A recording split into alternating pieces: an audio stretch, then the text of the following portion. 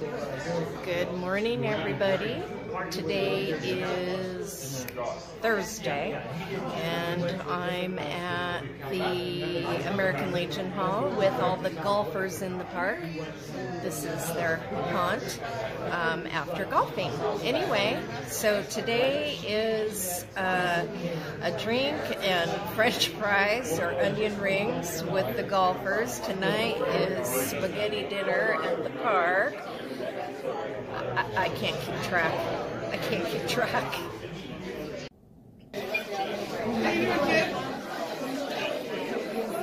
Hey everybody.